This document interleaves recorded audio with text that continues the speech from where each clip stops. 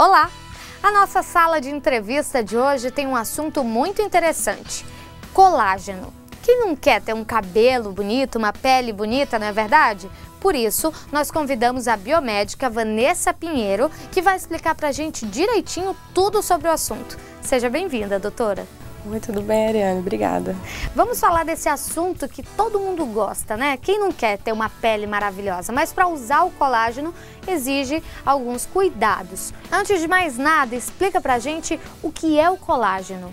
Isso. O colágeno ele é uma proteína produzida naturalmente pelo nosso organismo, uhum. só que também é encontrada em alguns alimentos, como carnes vermelhas, brancas e até em gelatinas.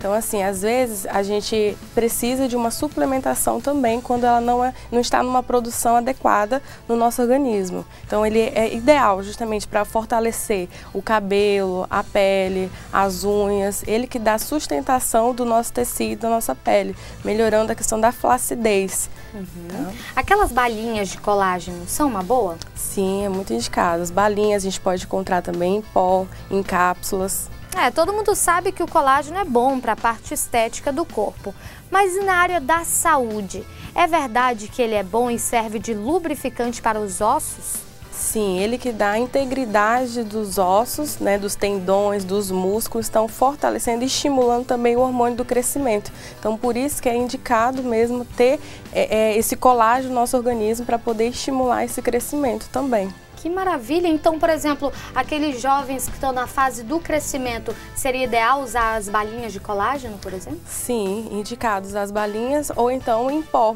né? Que a gente pode misturar na, na refeição, Eles na água, suco e nem percebe. Certo, muito bem.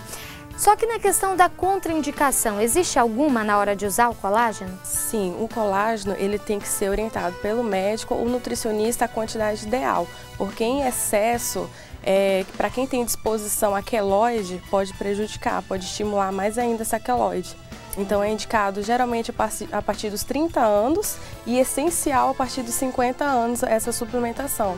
Viu? Eu espero que você tenha anotado tudo sobre o uso do colágeno. Obrigada, doutora, pela participação. Eu que agradeço. E para vocês, uma boa aula e até a próxima.